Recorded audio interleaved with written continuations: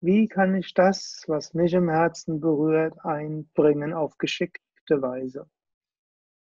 Ja. Es gibt ja auch einen Vers in der Bhagavad Gita, der sagt, Yoga ist Geschick im Handeln. Mhm.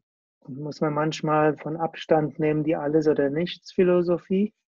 Entweder ich kann jetzt alles radikal ändern oder ich mache lieber nichts, sondern mehr zu überlegen, wie kann ich vielleicht mindestens etwas von dem, was ich im Herzen spüre, was gut wäre, jetzt einbringen, um meinen Teil zu leisten zur Transformation. Hm.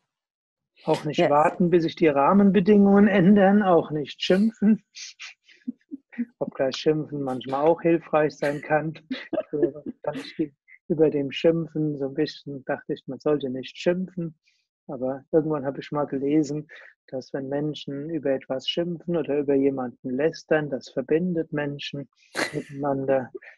Seitdem, wenn ich höre, dass jemand über mich gelästert hätte, früher hat mich das geärgert, jetzt denke ich, ist toll, ich kann zur Gruppenzusammengehörigkeit beitragen, ohne einen Finger zu rühren, indem Leute über mich lästern. Ist doch toll. Aber man sollte sich nicht auf Lästern und Schimpfen beschränken, sondern man sollte ja, schauen, was kann ich ändern und was kann ich beitragen.